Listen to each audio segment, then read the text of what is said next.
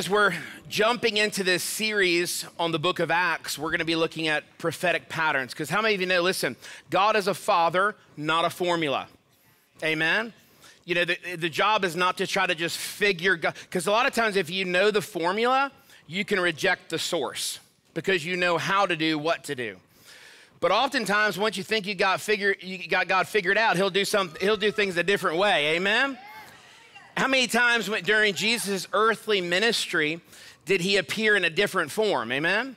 You know why? Because he was wanting them to see it's not a formula, but there are patterns. There are patterns to what God does, there's orders of operation. There, is, there are recipes where it requires certain ingredients. How many know that you can't, you can't substitute baking soda for baking powder and get the same result? Amen?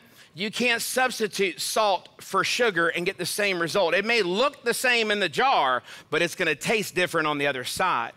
And see, God is highlighting to us ingredients in the recipe of revival that we would not just walk in the expression of revival that we've known in times past. We would be thankful for what God has done, but we recognize that God is doing a new thing. And that we would enter into those times of outpouring and seasons of renewal. And recognize that moves of God are called outpourings, not downpourings. A lot of times people can, can almost talk about them like it's a downpour, like it's coming from up there down here. But how many know the kingdom of God is within you? Amen? they asked Jesus, when is the kingdom of God going to come? He said, it doesn't come through observation, it's in you and it wants out. Amen? Jesus said in John 7 37, if anybody's thirsty, let him come to me and drink, and out of your heart will flow rivers. Amen? And see, God has placed in you the greatest power available to mankind. Jesus Christ and the power of the Holy Spirit.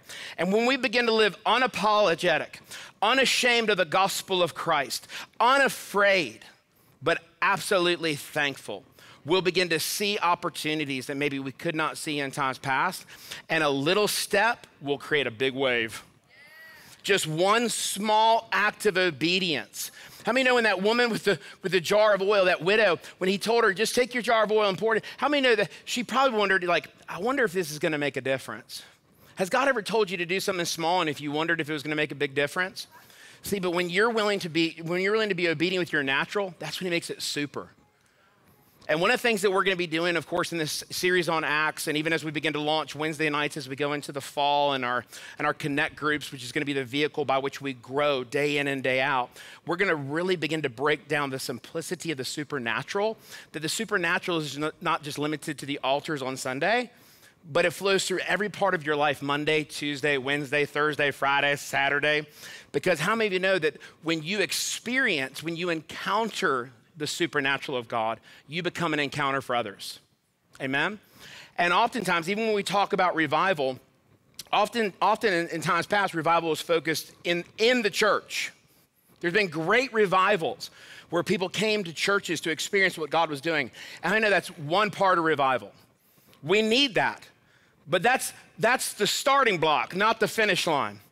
You see, we, we, we come together we get encouraged, we get stirred up, we receive, but then we got to go give away what we've got. Amen. And see, real revival isn't limited to the church. It's not just what God does in a people, it's what God, I mean, it's not what God does in a building, it's what God does through a people. Because every one of us is the temple of the Holy Spirit. And remember in Ezekiel 47, when it said the river flowed what? Out of the temple out of the temple, and you have a river in you. And so Sunday mornings like today, we come and we get a drink. But the great thing about the Holy Spirit is when you take one drink from Him, it becomes a river in you. And then wherever you go, that river wants to flow. And it says in Ezekiel 47 that wherever this river goes, it brings healing, it brings life, and an exceedingly great catch. That's the saving of souls. Hallelujah. That you're not, you're not just sharing your faith, you're bringing other people into his faith. Amen. You're not just sharing what God did for you. That's part of it. The testimony of Jesus is the spirit of prophecy. But when you begin to tell them what God has done for you, and then you begin to redirect that to what God is about to do for them, that's when hope begins to come up in their hearts. Amen.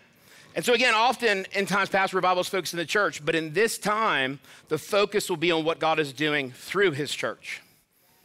Shauna was sharing with us during pre service prayer how yesterday, when she was praying for today, the Lord began to speak to her out of Colossians 1 in the Passion Translation. And for the sake of time, I'm just going to read verse 11. And Paul prayed, We pray that you would be energized. Woo! How many of y'all could use a little energizer bunny uh, anointing? Amen? Pray you be energized with all his explosive power from the realm of his magnificent glory, filling you with great hope. Not just good hope, not a little hope, but great hope by the power of the Holy Spirit. Jeremiah 29 11, he says, I know the thoughts I think toward you. They're of good and not of evil. They're to prosper you, not to harm you, to give you a future and a hope. And see, we're called, we're called to be the most hope filled people on the planet. Paul said in Romans 8, we don't hope for what we see, we hope for what he said. Because if we hope for what we've seen in times past, that's not hope. But if we hope for what we've not yet seen, that's when faith has something to work with in the earth. Paul also said in Romans 15, 13 in the Passion Translation, now may God, the fountain of hope, woo, Jesus, come on, hallelujah, belly up to that, the fountain of hope fill you to overflowing with uncontainable joy and perfect peace as you trust in Him. And may the power of the Holy Spirit continually surround your life with His super abundance until you radiate with hope. That means you're, you've got so much hope, you're shining. You walk into a hopeless situation, all of a sudden, what people think changes. They come into what's called repentance and repentance isn't just saying you're sorry for what you did. Repentance is recognizing the thought that authored what you did, that got you to where you are, and says, you know what, I'm sorry for what I did, but I'm really sorry that I believed the lie in the first place. And I don't want to just try to trim the fruit. I want to come back to the root and I want to begin to think a different thought, thoughts that are of a future and of a hope, because God wants to prosper me, not harm me. He wants to do something for my good and not that the enemy would be able to work evil in my life. And see, hope is contagious. If you get around hopeful people, you find yourself having hope. Same can be true when you get around hopeless people. If you ever had a conversation with somebody and you, you found your energy beginning to decrease the more they talked? Sometimes people don't need you to listen. You hear somebody talking in the wrong direction, you say, Hey, I got an idea. Why don't we shift that? Or I like to, I like to do this say, you know, the Bible says, because they can argue with an opinion, they can potentially argue with a perspective, but you can't argue with what the Bible says. And so you can always tell if someone is thinking a thought that God is not thinking about them, because if it's connected to their past or brings hopelessness to their heart. And see, the enemy has tried to use hopelessness based on people's past to bring division in the church to where the church would not lead the charge in this hour. Because listen, Jesus came as the light of the world, but when he left, he said that you are the light of the world. And as the light of the world, the church is now the hope of the world. Amen. And see, it's not, it's not getting people to church, it's getting them to come into union with the Holy Spirit, that they be prepared for that, that, that, that wedding feast, that supper of the Lamb. Amen. So again, God is wanting to fill us with hope, which really is the DNA. That's, that is a primary characteristic of revival. And if you notice, both of those passages pointed to the fact that hope is attracted to trust. It's attracted to trusting the Lord with all of our heart, not leaning on our own understanding. But hope is a ministry of the Holy Spirit. Hope is a ministry of the Holy Spirit. When I have found myself in situations and and, and maybe, maybe I was a little low on hope, hallelujah. That might surprise some of y'all. But I said, God, what am I not seeing that you want to say? Because my hope is authored by you and not by what I see. I remember one time, I, this was years and years ago, I guess it was 2010, and I had made a mistake in my life. And, and how, has anybody else, anybody else ever made a mistake? Aren't you thankful that people don't try to hold your past against your present to disqualify you for your future? There's a lot of that happening in the world. Sometimes it even happen in the church. But I believe in the power of the blood. I believe in second chances. I believe in redemption. I believe in mercy. I believe in favor and I believe in justice.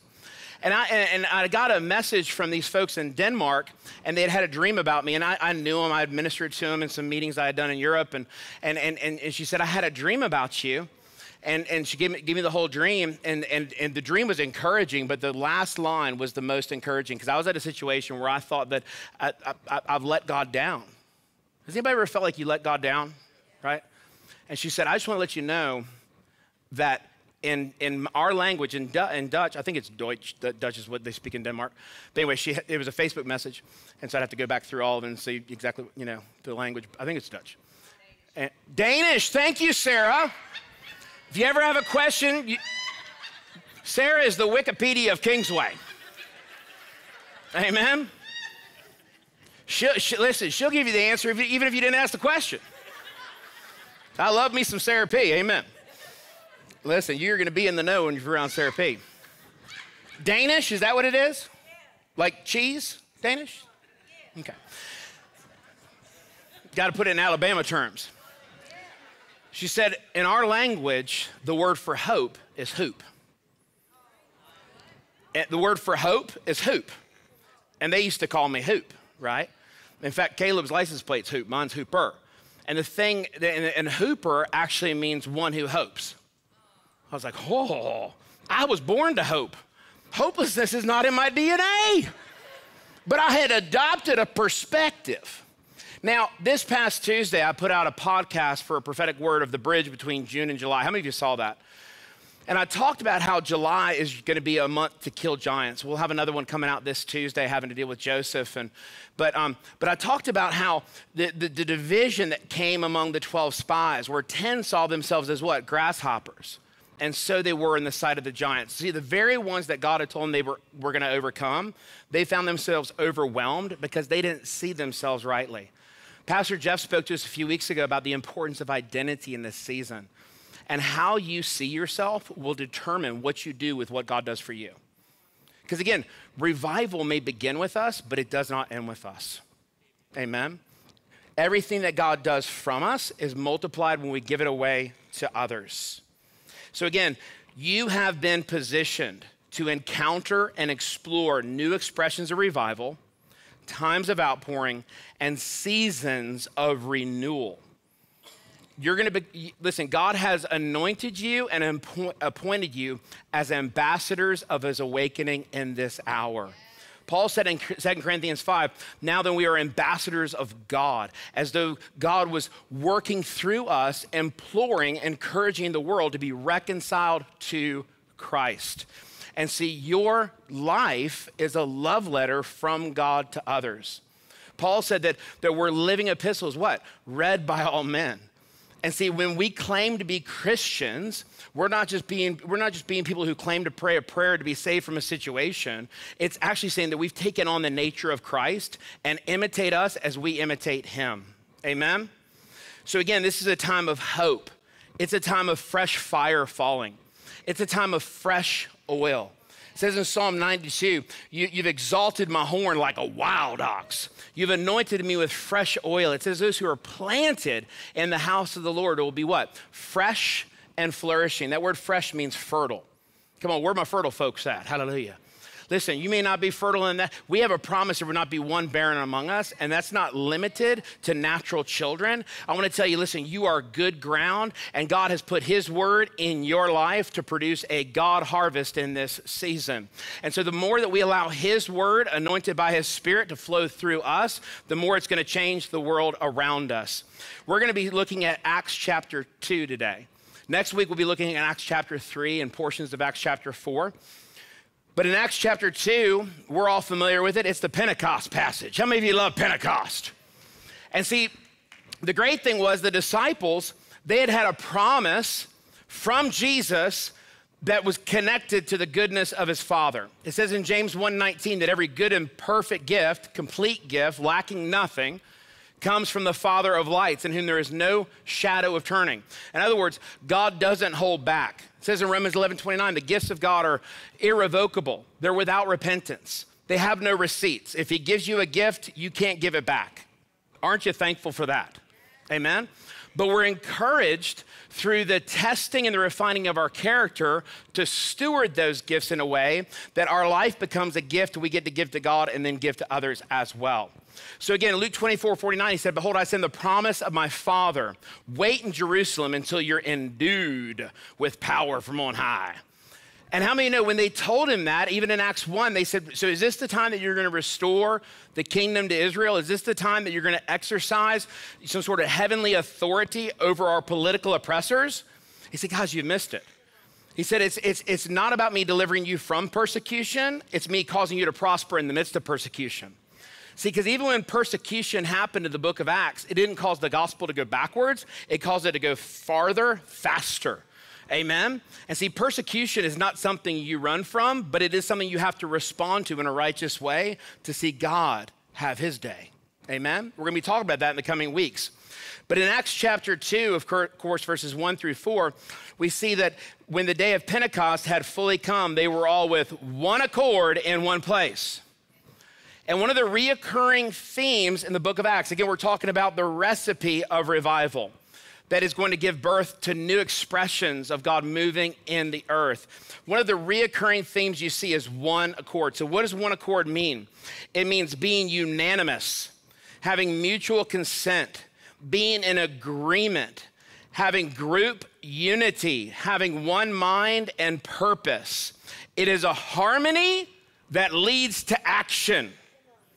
Have you ever heard one person singing and then someone else begin to sing harmony? and it took their sound to a whole nother level. It was like, oh man, more heaven just came in the room, amen.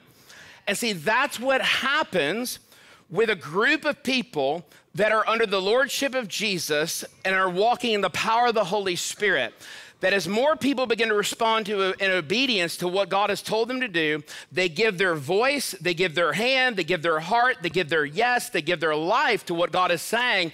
All of a sudden, it begins to sound and look more like heaven and the earth. And isn't that how Jesus told us to pray? Your kingdom come, your will be done on earth as it is in heaven in Birmingham, in Irondale, as it is in heaven, in Trussville, as it is in heaven. Is anybody, by the way, visiting with us today from outside of the Birmingham area? Is anybody visiting with us? Where y'all from? Georgia. What part of Georgia? Southeast, coastal. Southeast coastal. We'll just say Georgia. And Georgia as it is in heaven. That's his word to you. Amen. Wherever you are currently planted, that's where God has purposed you to bring his power. A lot of times people can want to get out of one place thinking that if the grass is greener on the other side, not watering the grass they've got. I was talking to somebody one time, they said, Yeah, I'm thinking about putting in my two weeks. I said, Oh, yeah. They said, Yeah, it's just so dark. I said, Oh, maybe you're there to shine. Where do you work? Chick fil A. Ooh. Man, listen, if it's too dark at Chick fil A, you, might have tr- you might have trouble at the Waffle House. Amen? I'm just saying, I'm just saying. And so, one accord, one accord is a necessary requirement for the fullness of what God is wanting to do. Also in Acts chapter 2, verse 17, Peter stands up. Now, now I, I, I love Jesus. Speaking of second chances, how many know that Peter had messed up? Right? In fact, Jesus told him, he said, Hey, listen, before the cock crows three times, before the cock crows, you're going to deny me three times. He's like, Not me, Lord. Pride cometh before the fall. Amen. You see, and you always had to recognize that, that apart from grace, you can make a big mistake. I always say, listen, every one of us is one bad thought away from making a bad decision, but we're one God thought away from making a great decision. Amen? But Peter had a moment of weakness where his fear of man and his fear of loss and his fear of rejection caused him to deny Christ. And Peter and God and Jesus told Peter, he said, "Listen, Satan asked for you, wanted to sift you as wheat." But I prayed for you that your faith wouldn't fail. I bet Peter was like, couldn't you have just prayed he wouldn't sift me? Hallelujah. like, couldn't you have just said no? You know, I wonder if Job ever asked that, right? He said, but listen, when you return to me, strengthen your brother. And what he was saying was, listen, you're going to be challenged, and that challenge is going to become a gift. And you may not respond right in the moment, but you're going to grow in the process. And when you grow in the process, you're going to be a better version of Peter than you've ever been. And see, it was Peter on the day of Pentecost that stood up and gave a present understanding of a past prophecy. He said, when, when, when, when all of a sudden the Holy Spirit fell and there was a sound as of the rushing mighty wind and tongues of fire began to fall on 120, he stood up and he said, This is what Joel prophesied. Now, how many of you know Joel didn't prophesy wind blowing, he didn't prophesy fire falling. But when he stood up and he gave present language and understanding to what God had spoken, all of a sudden they began to speak with tongues and magnify God, which is one of the releases of the prophetic gift. Amen. Because the prophecy in Joel was that your young men would what? See visions. Uh, you know, be your sons and daughters would prophesy. Your young men would see visions, and your old men would dream dreams. In fact, this coming Tuesday, we're going to be releasing a prophetic word about Joseph. July is a month for Joseph to come out of the prison. And how many remember Joseph got put in a pit by his brothers? The very ones that God had told him he, that he was going to show the kindness of God to. And do you guys remember which brother got him out of the pit? Judah. Judah. And see, praise will always get you out of the pit. Unfortunately, he got sold as a slave. And then he finds himself in, in, in Potiphar's house. He's falsely accused. Has anybody ever spoke evil of your good? Right? Finds himself in prison. Peter could have felt sad. He could have felt sorry for himself. He, he, he could have shrunk back in his witness, but he kept his prophetic gift working. And as he continued to interpret the dreams of others, the ones that he interpreted the dreams of got brought into a place of favor that actually became a door of favor for him. Because when, the, when, when all of a sudden the, the, the ruler of their day had a dream that he could not interpret, they're like, wait, we remember this guy. And see, praise will get you out of the pit. Keeping your gift active will get you out of what feels like a prison. And it'll bring you into a place of promotion that will unlock provision for God's purpose. Because what happened was God positioned the right man at a right time to produce a righteous outcome. And it said in the book of Psalms that the word of the Lord tested Joseph. It was actually for 13 years. See, sometimes people get a prophetic word. If it doesn't happen in 13 minutes, they want a new word. Or all of a sudden that word starts suffering persecution for the sake of the word, like Jesus said it would. And they're like, this is too hard. This is too hard. Has, has God ever given you a word you start to partner with? You're excited, but then the excitement wore off and you're just like, hey, give me a different word. right? It's easy to get excited, but endurance is where we see the promise. Right? And so it said the word of the Lord tested Joseph until the king sent and released him. And one of the things we're going to see happen in the month of, J- of July is those who have been tested and have passed the test those who have found themselves trustworthy when other people uh, did not pass the test, quit the test, or left their time of testing prematurely, that God is going to promote them. And see, those of you who have been in a time of testing, for Joseph, it said that his hands entered into iron, his feet were in fetters, and his mind was in captivity. His feet being in fetters was limiting where he could go. His hands being in iron limited what he could potentially do. But his mind being in captivity, that's where the real stronghold can happen. And see, if he had allowed what had got on him to get in him, he would have shut his gift down and he still would have been in that prison. Because how you think determines how you live. How many of you know that? So again, Peter stands up with a second chance opportunity and becomes the prophetic voice of Pentecost and one of the fathers of the first century church. He goes on in verse 38 and says, Peter said to them, Repent, repent, and let every one of you be baptized in the name of Jesus Christ for the remission of sins, and you shall receive the gift of the Holy Spirit. For the promise is to you, to your children, and to all who are far off, as many as the Lord our God will call. And see, Peter had gotten a second chance, so he became an agent of second chances to others. Isn't that amazing? Again, repent. Don't just say you're sorry, think different. Paul said it like this Don't be conformed to the pattern of this world. Don't be shaped by what's going on in the world around you, but be transformed by the renewing of your mind. Peter in Acts chapter 3, verse 19, he said, Repent and be converted. So, in other words, if you change how you think, it brings transformation to your life. Repent and be converted that times of refreshing renewal will come to you from the presence of the Lord, whom the heavens must retain until the restoration of all things. And see, God is God has sent us, we've been anointed and appointed for a restoration mission.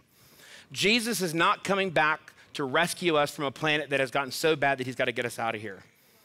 Our call is to restore this planet from the bondage of corruption, it says in Romans 8, verse 19, to see it restored to God's original intent, his original purpose. But we can't do that until we think different. And we can't think different until we think like God. And see, one of the things that limits the expression of revival in the life of the believer is when we think it's all about us. I love to get touched by God. How many of you love to get touched by God? But how many of you know He touches you to become a touch for others? And what you receive in seed form always multiplies when you give it away to other people. Amen? By the way, is there anybody here who has never been filled with the Holy Spirit? You've never been baptized with the Holy Spirit. We're going to be having a time of ministry at the end. I know that a lot of you probably, of course, have been if you've been here for any length of time. Hallelujah. But one of the things that I really wanted to make time for today is if people are here that have never, they've never been baptized with the Holy Spirit, you're saved, you're born again, but you've not had that additional encounter with the power of the Holy Spirit. Because Jesus said in Acts 1:8 that when He comes upon you, when the Holy Spirit comes upon you, you would receive dunamis power, miracle working ability to be my witnesses in the earth. And see, being baptized in the Holy Spirit is more than shaka shandai. How many of you, how many of you are thankful for your prayer language? If there's anybody here that has not yet received your prayer language, we're going to pray for you at the end of the service, and you'll get it today. Okay? I've never seen, I've never seen somebody that we prayed for not get it because we, we're not the ones who give it. Jesus said that, that, that, that, the Father gives it to everyone who asks. Amen? And so all we have to do is ask. In Luke 11, 13, he says, If we, being evil, know how to give our good, give, give, give good gifts to our children, how much more does our Heavenly Father want to give the Holy Spirit to those who ask Him? And see, God wants you to have the Holy Spirit more than you want to have Him. But He says, You got to ask. You got to ask. And see, there's a lot of people that may have gotten their prayer language because their expectation when they prayed for the baptism of the Holy Spirit was to speak in tongues. And how you know speaking in tongues is great? Paul said, I, I, I pray in tongues more than you all. How many of you are thankful for your prayer language? 1 Corinthians chapter 14, verse 2 says, When you pray in the Holy Spirit, you're speaking mysteries back and forth to God. Verse 14 and 15 say that when, you, when you're praying in tongues, don't let it remain a mystery, but ask God for the interpretation and understanding of what you pray.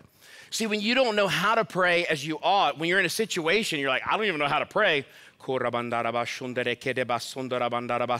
Hey, hey. And then all of a sudden, understanding starts to come to your heart the eyes of your understanding, Paul said in Ephesians 1, are enlightened to see the exceeding greatness of the glorious riches of his inheritance in you. And see, sometimes we don't see what God is saying because we're just praying based on an earthly understanding. But Paul said that if we've been raised with Christ, set our what? Our mind on things above. And what praying in tongues does, what praying in your, your, your, your, your Holy Spirit language does, is it causes your mind to be set on things above and not things beneath. It causes you to live as the head and not the tail. 1 Corinthians 14 4 says that when you pray in tongues, you edify yourself. You build yourself up. Hallelujah. You encourage yourself. It said that David strengthened himself in the Lord. In 1 Samuel chapter 30, when, when all of a sudden the Philistines had taken their wives and their kids and all their possessions, what did he do? He strengthened himself in the Lord. And that was pre Pentecost. He had to go back and remind himself of who, who he knew God to be. See, but we have a fast track to strengthen ourselves in the Lord called praying in tongues. Amen? And I want to encourage you you cannot pray in tongues enough. Amen. Jude 20 says, Beloved, uh, praying in the Holy Spirit, building up your most holy faith, keeping yourself in love. And one of the ways to grow in faith is praying in tongues. How many of you pray in tongues? Okay. How many of you, how many of you say, you know what, I probably could pray in tongues more? Instead of, instead of when I go to the bathroom scrolling on my phone, I could come boldly to the, I could come boldly to the throne and get some understanding. Hallelujah. See, because one of the things praying in tongues does is it causes your eye to be single. It gives you heaven's focus on a situation. Amen. And so again, if you're if you're here today, you've never been filled with the Holy Spirit, we're going to pray that you have you will be. Now, how many of you are here and you pray in tongues, but but you really don't see miracles flow through your life on a regular basis? But you want to. right? We're gonna pray for you too. Because Jesus said that when the Holy Spirit comes upon you, miracles come with him. Amen? Aretha Franklin, what you want, baby, we got it. Verse 40, and with many other words, speaking of Peter, he testified and exhorted them, saying, Be saved from this perverse generation. Then those who gladly received his word were baptized, and that day about 3,000 souls were added to them. And see, church growth is not supposed to be people just leaving one church and coming to another. But 3,000 people who did not know God now know God because you know God and have made him known. And what we're about to see in these expressions of revival, this time of outpouring and season of renewal, is God beginning to add to the church day by day, not because people got upset at this pastor over here and went to a different church, not because they worshiped too long or spoke too long and went over there, but they're gonna, they're gonna start coming from the highways and the byways from darkness to light as we begin to take the light of the world to them. Amen. As we begin to arise and shine in deep darkness, they will be drawn to him as we lift Jesus up. Amen. But then it goes on in verse 42 and says, They continued steadfastly in the apostles' doctrine and fellowship, in the breaking of bread and in prayers. And see, one of the things is the fire falls, but you got to fan the flame because they, they didn't just get from God, but they had to continue to grow in what God gave. And fellowship and community is, is really the container for spiritual growth. You've heard me talk in the past few months about how God has been speaking to us about community, life giving, spirit filled community being a necessary, hallelujah, my mic was going out, being necessary not only for where we are, but also where God is wanting to take us in this hour. How many of you have been feeling a heartfelt desire for greater relational connection? One of the things that we're going to be doing is really, that's really the, our focus in this season.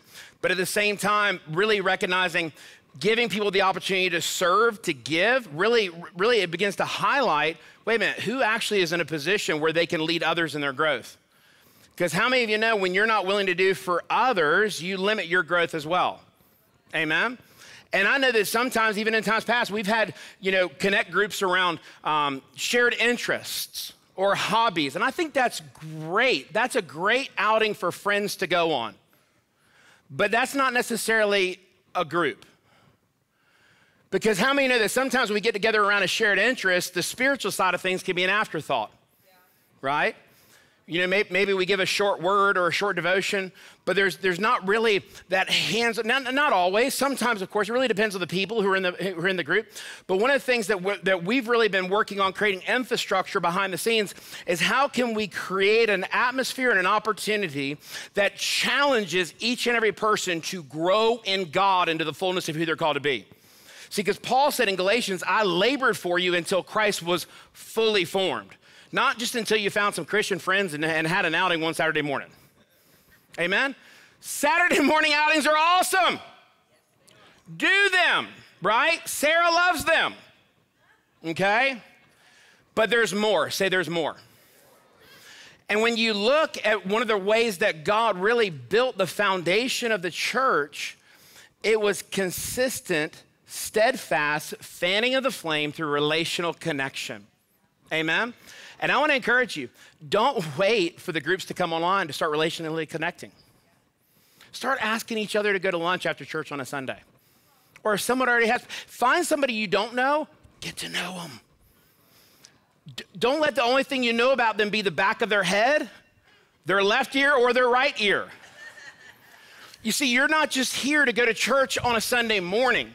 God has planted you on this in, in this place for cross pollination that as you begin to allow what the power of the cross has done in your life to begin to be blown into the lives of others, it's going to produce resurrection in them.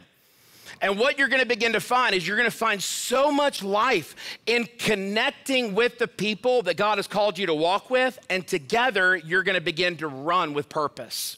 Amen? Again, how many of you just felt that desire for community, right?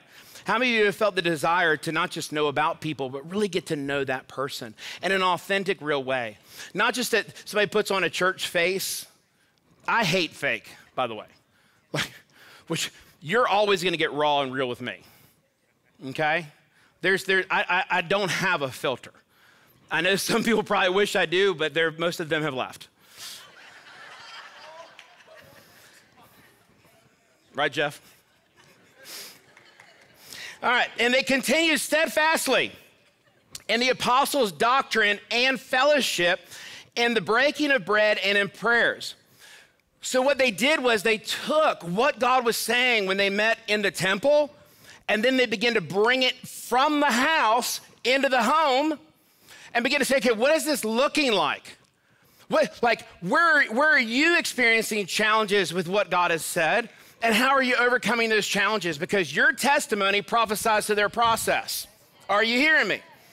And so it wasn't just everybody doing their own thing, they were all unanimous, one heart, one mind, one accord, going in one direction. Because when God can get a group of people all going in one direction, that's when the tide turns. That's when all of a sudden everything's going this way, but there's a momentum because people begin to say yes to the mission because they've already said yes to the vision. And that's what we're to be doing July 17th is really sharing vision for serving. What does it look like to grow and to give? And I promise you, you're going to find so much fulfillment in not just connecting with the people you're called to walk with, but also beginning to give your life to the lives of others. And in that, find new life as well. Verse 43. Then it says, Then fear came upon every soul which was reverential awe, honor. And many wonders and signs were done through the apostles. Now, all who were believed were, to get, were together and had all things in common, and sold their possessions and goods, and divided them all as anyone had need. And see, when you really find this kind of kingdom koinonia connection, lack is eradicated in the body of Christ. It doesn't just mean that, that, that, that you have a need and someone sells a possession so they can give to you. That may happen, but oftentimes what you have need of is actually sitting right next to you. The person who has the idea, I was talking to Carmen Burns a few weeks ago just about some things that are in her heart, you know, in dreams and visions, and then even just practically as an interior designer and, and just beginning to connect. Like, there are so many gifts and treasures in this house but one of the ways that we're to unpack those treasures is sharing with others the treasure that we are and then looking into their life to see what treasure they've got. And so, well, she, she does this and he does that, and I'm called to this. Let's go start a business. Hey, you, you, you're gifted in this area. I'm gifted in that area. Hey, why don't we go make a difference in our city? What, instead, of, instead of you joining with me and praying about my problem, why don't you and I work together on bringing a solution to the city and watch how we recognize that problem really wasn't a problem, it was a distraction. It was a distraction that caused me to think about myself too much and to think too little of others. Amen?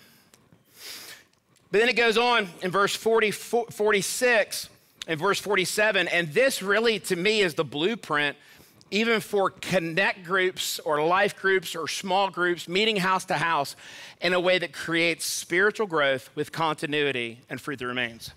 It says, so they continue daily with one accord. There it is again. Unanimous agreement in the temple, and what? Breaking bread from house to house. Now, what does breaking bread speak of? Shout it out. communion, that's one example. Somebody else? Roy, what'd you say?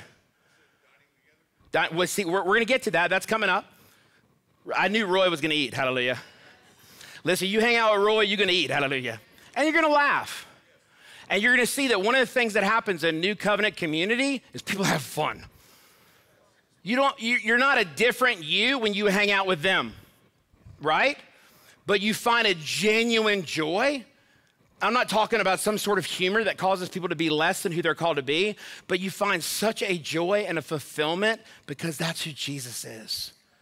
You see, prostitutes could hang out with Jesus and they wouldn't feel condemned. Tax collectors, why? Because they found life with him. When, Zacchaeus, when, when Jesus came to Zacchaeus' house, he didn't have to tell him, You stole. Zacchaeus knew he stole. But when the goodness of God showed up at his house, he said, You know what? I'm going to sell everything I've got. I'm going to restore everything I've stolen fourfold. You know why? Because when the goodness of God comes into your life, you want to do good things. And it says in Acts 10:38 that God was anointed with the Holy Spirit and went about doing good and healing all who were oppressed because God was with him. So breaking bread from house to house, it certainly can mean communion. That's one example. But I think about it like this. Breaking bread from house to house, Jesus said that what? Healing is the children's bread, right? So it's ministering practically to the needs of those you're connected with. You need healing? Let's get you healed. We're not going to pray about your sickness. We're going to heal you of it. Hey, you've been dealing with some torment, some trauma. Hey, listen, we're, we're not going to talk about it so that everybody else comes into torment and trauma. We're going to begin to speak hope in the place that the enemy has brought hopelessness. Oh, you believed a lie? No condemnation. We're going to serve you truth. Hallelujah. We're going to put your butt in a chair in the center of the room and we're going to prophesy the paint off your walls because when the anointing shows up and the anointing comes on you, the devil comes off. Also in Luke 24, Jesus did what? He broke the bread. And what happened when he broke the bread? Their eyes were open and they knew him. So it's a place where you get to say, hey, I was reading the Bible today and I saw something I've never seen before. I, Richard and I have these conversations all the time. He's like, man, look, uh, you know, let me tell you what the Lord showed me. Because how many of you know that's what the body does? You see, all of our growth, it, it can't just happen on a Sunday morning. Sundays are to celebrate. Sundays are to commission you. Sundays are to stir you up, yes, to strengthen you, but real growth happens when the rubber meets the road on Monday. Hallelujah. Has anybody ever had a case of the Mondays? Y'all seen that movie? Okay. I always got to re- remember that a lot of these movies I saw before I was a Christian, so I, got I hesitate to give pastoral endorsements. Amen. Tina's like, you got to quit talking about Die Hard at Christmas. Amen. There's so many people that have come back and be like, so Jason really likes that movie. I stand by that. Amen. There's a VidAngel version, I'm sure. But what you're doing is you're saying, wow, this person has a need, and every need is met in Christ in me. So let's go ahead and minister to this need until we see it met. Hey, this is, I was, I was watching a teaching. Uh, Richard called me the other day and he had watched a teaching from Bill Johnson that had spoke to him and brought in a encouragement. He said, hey, listen, I saw this and I wanted to share it with you. How many, that was him breaking bread. We had, we had a wonderful gluten-free meal on the phone, hallelujah. And if you're going to do it with Richard, there's probably going to be a pork butt involved. It's, oh, hallelujah. Come on, we're delivered from the law. But then, so they broke bread from house to house. So you're ministering to the needs of those you're connected with. You're sharing, hey, this is what God spoke to me. Yes, you're continuing in the apostles' doctrine. You say, hey, listen, if, if God is speaking to us as a house by the fear of the Lord, let's break this down and say, what does this look like in our life? What does this look like for you? What does this look like for me? So that together iron can sharpen iron.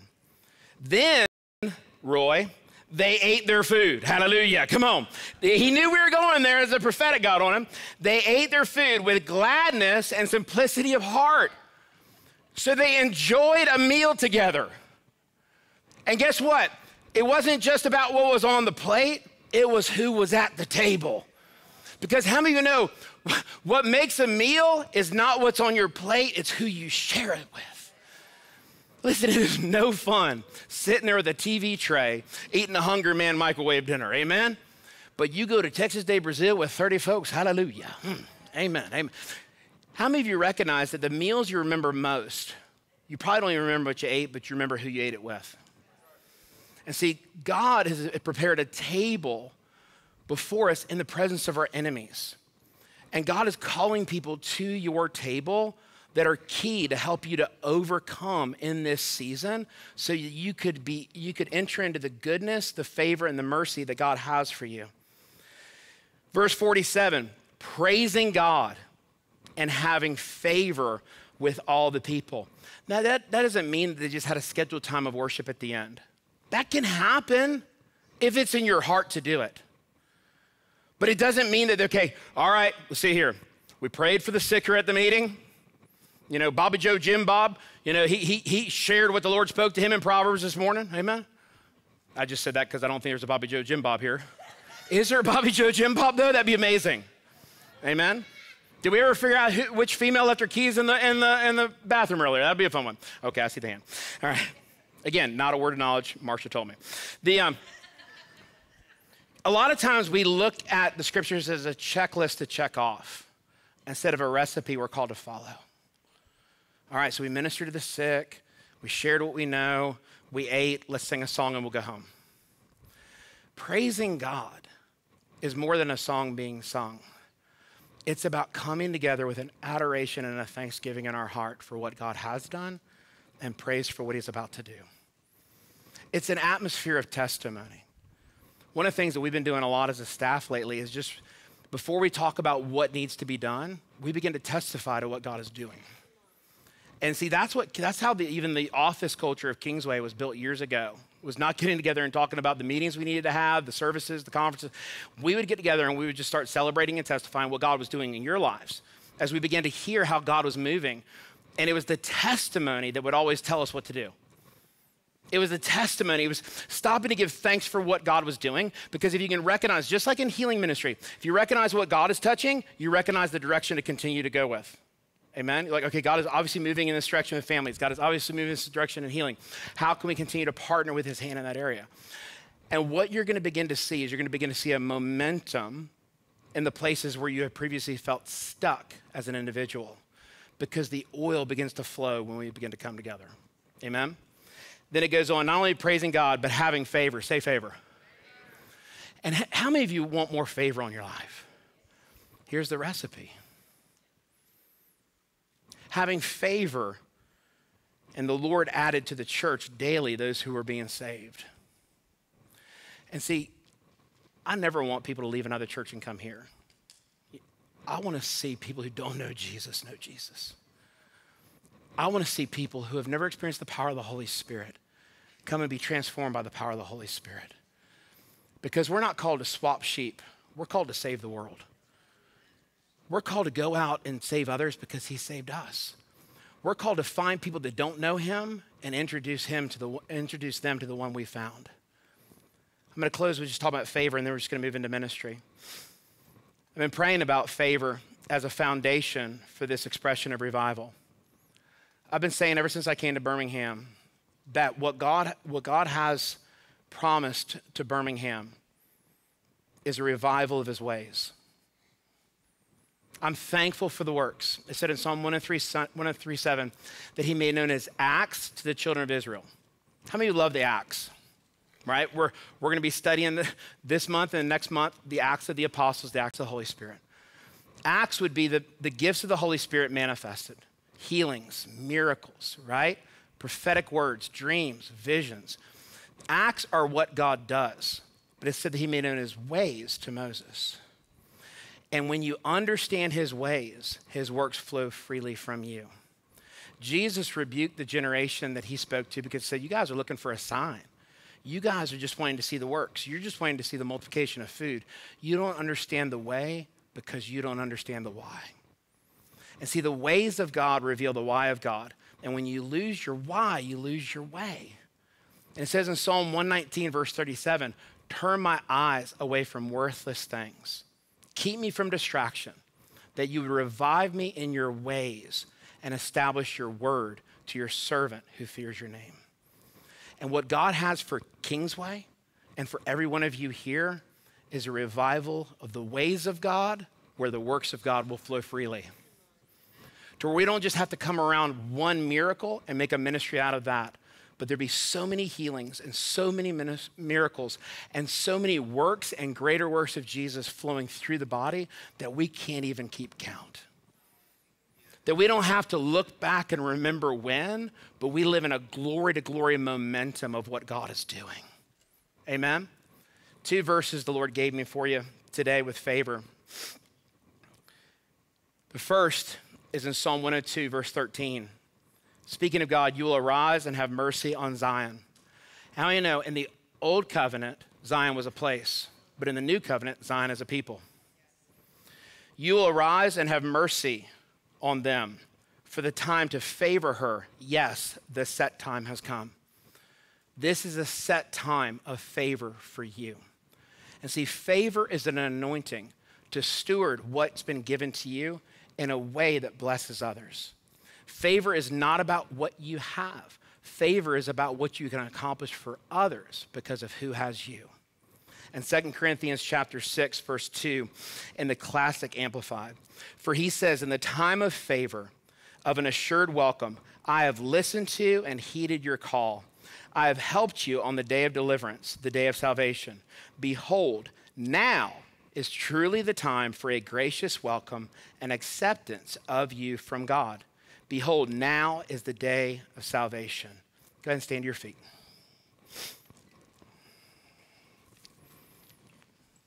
This is your set time. It's a time of favor. But God is inviting us to come together into the favor and the time that He has set. How many of you are here today? And if, if you've never received the baptism of the Holy Spirit, I just want you to boldly come to the front. We're going to pray for you, and you're going to receive the Holy Spirit. And not only are you going to receive your prayer language, come on, I've probably been praying for you this week.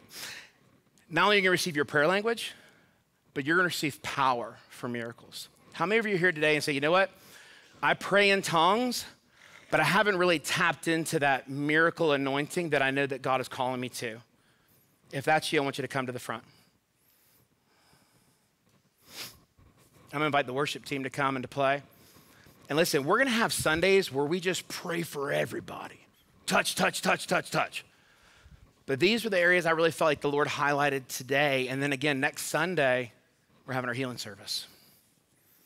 And I want you this week to go gather people that you know that need healing. Jesus said that when the Holy Spirit comes upon you, you will receive a miracle working ability. And so, again, if you're in the aisles, just go ahead and come on down, fill in. And here's, guess what? We're all on the ministry team today. Every one of you, have you received, have you been baptized the Holy Spirit, speak in tongues? Okay. Here's what I invite you to do. I want you to begin to start moving up behind these folks. You can fill in the, some of the other aisles or just stand behind them. And I want you to begin to start speaking heaven's mystery over them.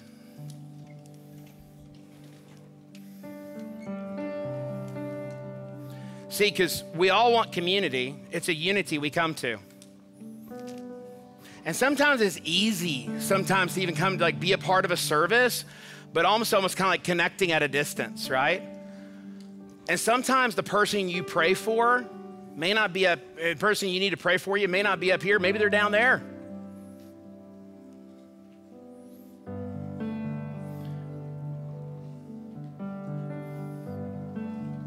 Go ahead and make your way down. And again, you, you, you know, if, if they're comfortable you laying hands on, of course you can do that. But honestly, guess what? You don't have to lay hands on to release power. It says in Habakkuk 3 that out of your hands would flow lightning. I want you, as you're praying for them, I want you to see power and virtue flow from your hand and begin to touch them. The Lord knows what they have need of even more than they do. They may think they're here for one thing, they may think they're, they're like that, that, that man at the gate beautiful. They're wanting gold and silver. And the truth is, is they've been lame and they didn't know it. They need to be healed. Man, honestly, my spirit wants to jump into next Sunday already. You know, this healing and, healing and wholeness. I want to tell you, listen, the Lord gave me a word months ago about the rebuilding of his body, and I can see it happening, man. Jackson and I spent four hours one afternoon this week. I can't remember what day it was because it's just been like, that's been what my week's been like. But I want to tell you, listen, what God is doing in you is so beautiful. And it may be in seed form right now, but there's going to be a maturation process that begins to take place. I'm going to ask Pastor Jeff and Pastor Suzanne to begin to pray as well. And I've been thinking about you all week. Yeah, I have. Tina and I've been talking a lot about you. You're amazing. Jesus said in Luke 11 that he gives the Holy Spirit to everyone who asks him. So let's ask Him. Say, Lord Jesus, I ask you to fill me with your Holy Spirit. You feel that bubbling in your belly? That's the Holy Spirit. Nicole, can you put your hand on her spirit? I want you to open up your mouth and just begin to let those sounds come out. There it is. There it is.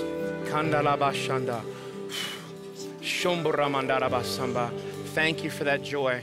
Thank you for that peace, Holy Spirit. Just start putting your voice with those sounds, that bubbling. Oh, there it is. Hey, hallelujah. Kandarabo shombo. Hey, shandaramondo.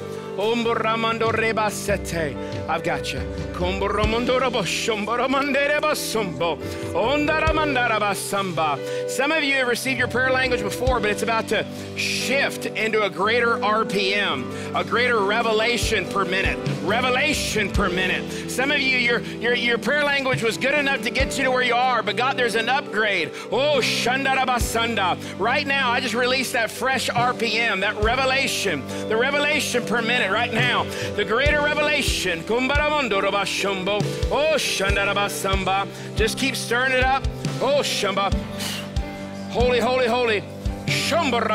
Shamba. Oh, shandaramanda. Hey, hallelujah, hallelujah, hallelujah. Oh, hallelujah. Oh, shandaramando. Jesus breathed on the disciples and said, Receive the Holy Spirit.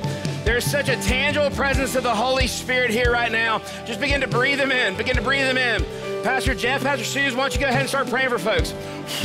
Oh, Shandaramando. Oh, Shakaramondo re Shaka. Upgrade.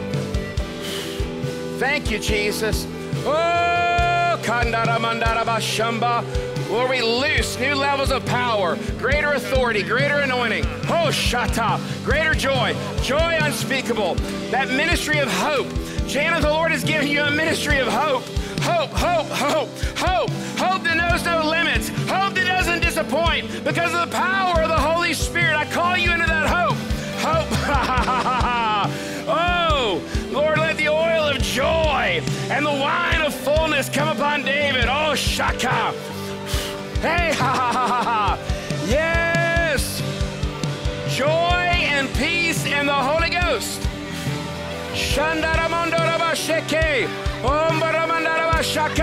Thank you, Lord. Yes. Hallelujah. Shambaramondo. Oh, Shambarabashaka. Oh, Shambarababa. Oh, Shambarabashaka. Eh, Kambaramandarabasheke. Hey, hallelujah. Hallelujah. Hallelujah. Hey, Seth, why don't you pray for Mick? Pray for Mick. Bless him. He's a father of joy. Oh, Shambaramando. Oh, Shakambarabasaka.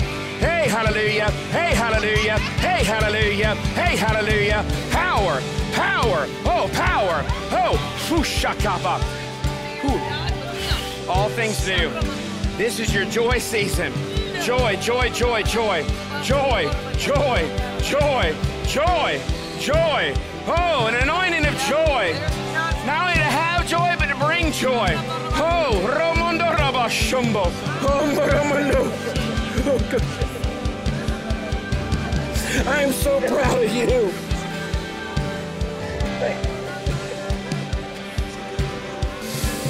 Oh, there's going to be people that knew you guys three months ago that they, they don't even recognize you now, but they certainly are not going to recognize where you're going. I bless you. I bless you in the light that you have stepped into. I bless you, even as we talked about today, continuing steadfastly. I bless you in the place of planting right now, that place of truth and purity and consecration. It says those who are pure in heart will see God. And what you're about to see is going to wow you. It's going to bring you into not just the deeper things of God, but also the simplicity of Christ. There's going to be a grace to break down things that other people have tried to make hard to understand in a simple way where anyone can come to truth. Oh, Jesus always made what, what, religious people made difficult, Jesus made easy. He said, My yoke is easy and my burden is light. And there is a rest coming upon this house. It's a faith rest where God is going to do so much more through you than you could have ever done for Him. I bless you in that anointing and revelation of rest and joy. Joy, Abigail. This is your joy season. You're a daughter of joy. And I feel like the Lord is like mantling you guys with joy and peace. Thank you, Lord. Thank you, Jesus. Some of you guys are catching mantles for miracles. And listen, you're not even going to know it until you guys start praying for the sick and see God moving. Ha ha ha ha ha. See, because a lot of times we're like, okay, once I get a guaranteed answer to the prayer, I'll pray, then I'll pray it. Listen, it's like Elisha, go out and strike the ground and say, Where is this God of power that I heard about? Hallelujah. Just beginning to step up and let the Lord come upon your prayer. Ain't that right, Sarah? Oh, Shambaramanda. Oh. Lord, I bless, Lord, even the eating of food with gladness and simplicity of heart. Even as we wrote, wrote about in the book of Acts, some of you, there's foods that you want to eat that you've not been able to eat because of digestive issues. And right now, the Lord is, there's a healing happening in the digestive tract, in the intestines, right now, to where there's going to be a gladness and a simplicity of simply enjoying a meal that you desire. Oh, Shambaramando. Thank you, God. Ha ha ha ha, hey, hey, hey, hey. Thank you, Jesus. Thank you, Jesus. Ooh. Oh, bless you, Jesse. Bless you, Jesse. Oh, get Jesse with the overflow, the backsplash. Oh, the Gallagher anointing. Hey, how watermelon all over you. Watermelon all over you. Ha, ha, ha, ha. Oh, I love you, Lori. It's time to reap in joy. It's a no more tear season. Hmm. I saw like a shampoo. It was like a, it said like no more. I'm not even sure if it's a real shampoo, but it said no more tears. And I saw the Lord washing your hair with a no more tears shampoo. And see, hair speak of strength. And I, it was like it was like I saw like where where mourning or even sadness had almost kept like the fullness of your strength from being really being able to be fully formed in this hour. But you're in a no more tears season. it's time to reap in joy. Joy. Oh, Shamboramondo. Oh, champion of grace, champion of grace, champion of grace. And God, I thank you, Lord, that each and every person, Lord, Lord, that you are you're, you're helping to define our footing for this season, to give understanding of the gate and the grace that we're called to walk in and occupy, that every person would know their place without question.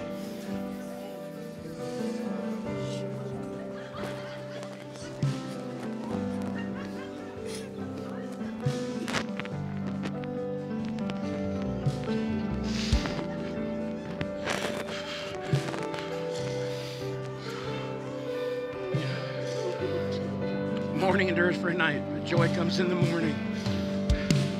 Joy, joy, joy. Joy, joy, joy. Hmm. Wow. And see, the Lord said to follow Him, we have to deny ourselves, and take our, our cross.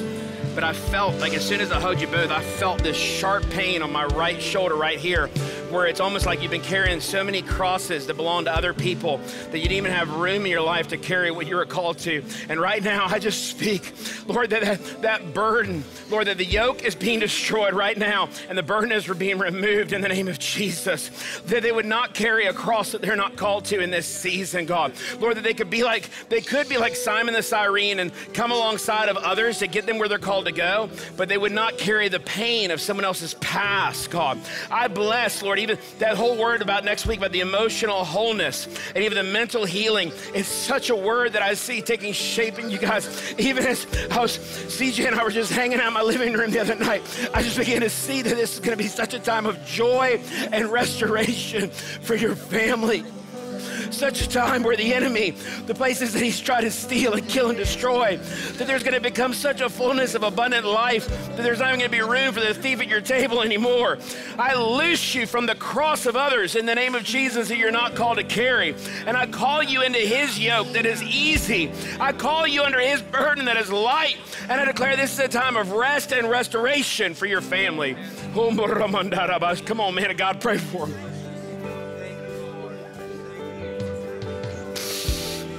Oh Shambaramondo, oh Shambaramondo, oh Shambaramondo, oh Shambaramondo, oh Shambaramondo, oh Baramondo Rabashaka, hey Kambaramando.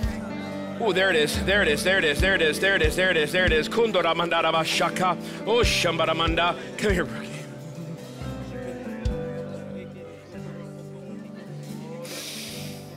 Mm. Wow. Wow, thank you, Lord. Wow. Wow, that spirit of heaviness just came off. I felt like just a lightness come. Brookie, when I hugged you, I just felt like a, it was like this heaviness came off. And I thank you, God, that you've given us the garment of praise for the spirit of heaviness. Come on, even where you felt like your feet were tired, like I talked about Joseph, his feet entering into fetters, there is a loosing. This is a king releasing you to step into your word season. Mm, thank you, Jesus. In the places where your word has suffered persecution, you're about to prosper. You're about to overcome. You're about to, you're about to press into that place of more than enough, more than enough, more than enough joy, more than enough peace. It says, Those whose mind is stayed on him, he keeps them in perfect peace. And I bless your mind. Oh, to be stayed, to be fixed. That's it, Dustin.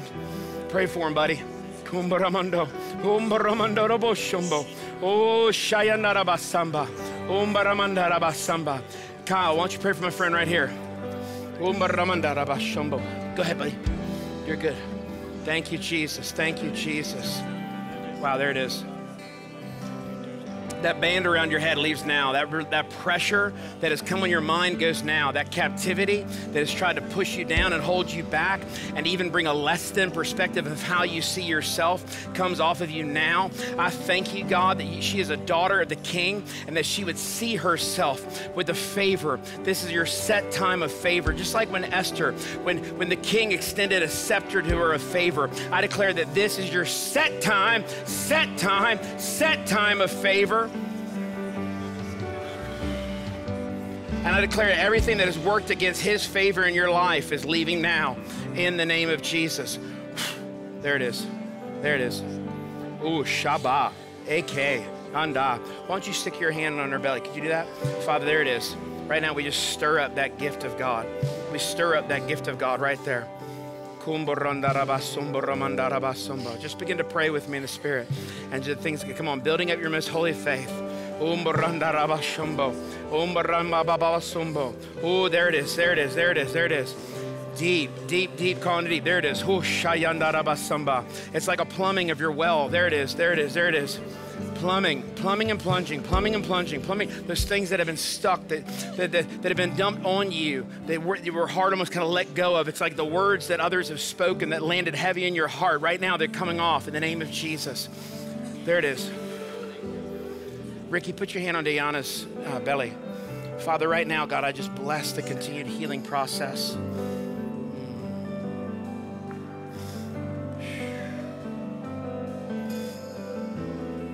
Thank you, Lord. I thank you for a season of promise, God. Lord, that what they've seen with their heart, they're going to hold with their hands in every area. Thank you, Jesus. Oh, there it is. This is your hope season. Winds of hope blowing, blowing on you. Winds of hope, winds of hope, winds of hope. Thank you, Jesus. Thank you, Jesus. Thank you, Jesus. Thank you, Jesus. Thank you, Lord. Kumba ramandara bashumba. Oh, shayata rabasamba. Mm. Will, let your fire get more wild. Hallelujah. Yes. Your name may be Will, but the Lord calls you wild, wild, wild, wild, wild, wild, wild, wild. Ooh, Shabbat. Thank you, Jesus. Thank you, God. Thank you, Lord.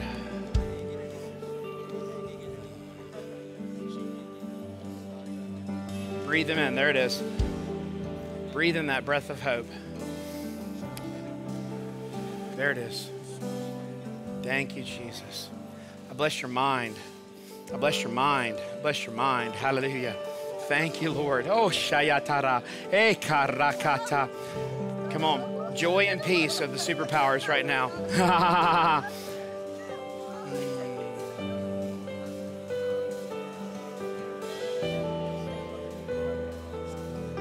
there it is. There it is. There it is. There it is. There it is.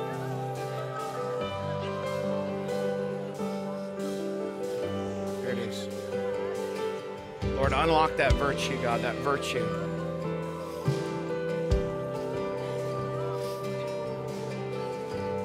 Alicia, there's going to be an outshining, just like with Peter, how his shadow healed the sick. You're just gonna be like walking past people, and depression's gonna leave their life. I just saw specifically like an, an authority of your nearness. It's gonna break depression. They're gonna be like, "Oh my gosh, a dark cloud left," and it's like where like like people are all like like like you're you're a weather pattern that's getting ready to happen.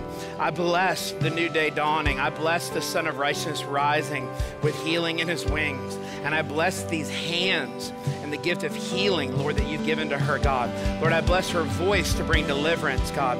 I bless, Lord, the voice of deliverance and the hands of healing. And God, I bless that atmosphere of hope in Jesus' name. Thank you, Lord. Thank you, Jesus. God, we bless the new. We bless the new. We bless the new. We bless the new. Hallelujah. Sam, Caleb, come pray with for, for Ray. Mm. Ha ha ha ha ha. Thank you, Jesus. Ray, I bless how you continue to count it all joy. Count it all joy. Count it all joy. Count it all, every bit of it. It all adds up to joy. It all adds up to joy. It all adds up to joy. Thank you, Jesus.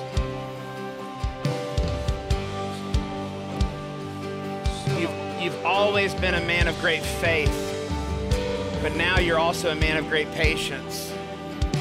And patience is one of those things you never want to ask for, but you want to make sure that it, it, it has its work in you. And faith and patience together inherit the promise. And so, Father, I thank you, Lord, that even when faith is tested, it's so patience can have its complete work. And so, Lord, I thank you, Lord, even for the work of patience that Ray is allowed to work in and through him, God. And Father, I thank you for this inheritance season, Lord, that he is coming into, God. God, I thank you for his, his love for the body of Christ, genuine love for people, genuine love for the body. And I want to tell you, Ray, listen, you're, you're going to do things that other people have only dreamed of. Your words are going to bring so much, your words already bring so much life, but get ready, get ready, get ready. Get ready, get ready, get ready. Like Abraham spoke to things that did not exist so they did. I just see your words beginning to break hopelessness off of hearts, beginning to even break uh, just mental illness off of minds. Father, I bless the anointing on Ray Higdon in the name of Jesus. Hallelujah. There it is. Thank you, Jesus. Mm, thank you, Jesus. Thank you, God. Thank you. Ha ha ha ha ha ha. Step into your season of joy. Ha ha ha ha. Thank you, Lord. Hey.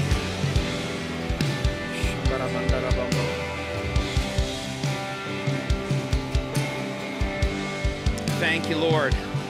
God, I bless Paul as a bread breaker, one who's going to begin to bring others into the knowledge of God.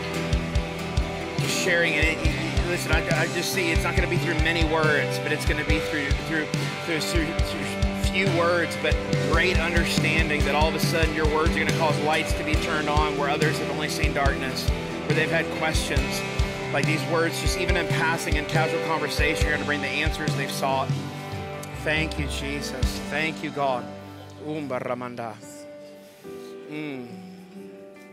Thank you, Lord. Danielle, can you come pray for Angela with me? Just come put your hand on her spirit. Mm. Thank you, Lord. Unlock. Unlock. Unlock. Unlock not just the gifts that others have seen, not just unlock the gifts that are at the surface, but the, the deeper gifts, the deeper grace, the deeper gifts, the deeper, deeper grace. Thank you, Jesus. It says in 1 Corinthians 14 that when one prophesies, the secrets of her heart are exposed, that they're brought to the light, that the treasure on the inside that nobody else knows about is brought up and given out. And so I just bless this is a treasure, a treasured season for you, Angela, and a season where others are going to begin to experience his treasure through you. Open up the treasuries, Lord. Open up the treasuries. Thank you, Jesus. Thank you, God. Mm, well done. Good. Good, good, good, good, good, good, good, good, good, good, and faithful. So good because he's so faithful. mm, wow.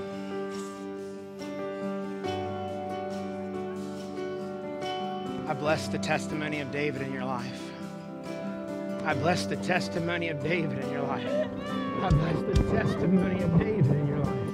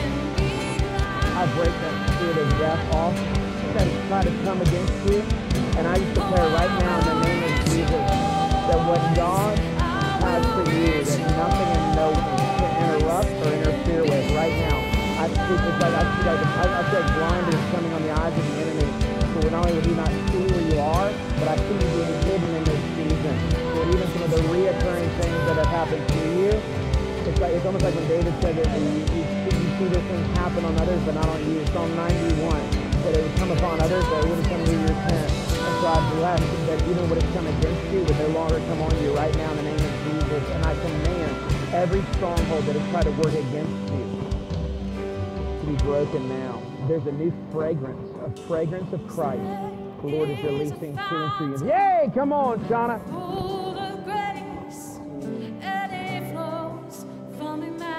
Can I borrow, can I put your hand? Why you put your hand right here on her chest? Thank you. Hallelujah. You're amazing. I love your worship. I love ha ha ha ha. Just begin to release life over. There it is. Begin to release that life over her. Come on, there's a joy. There's a joy. Hallelujah. This is the goodness of God's season for you, Mary Virginia. Goodness of God's season for you. This is the goodness of God's season. This is the goodness of God's season on your life.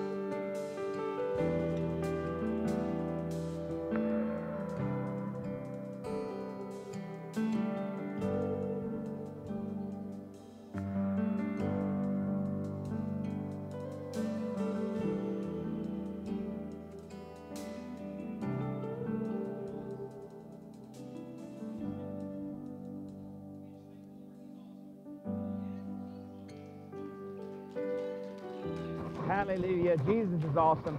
We love you guys. Don't forget next Sunday, hallelujah, healing and wholeness service.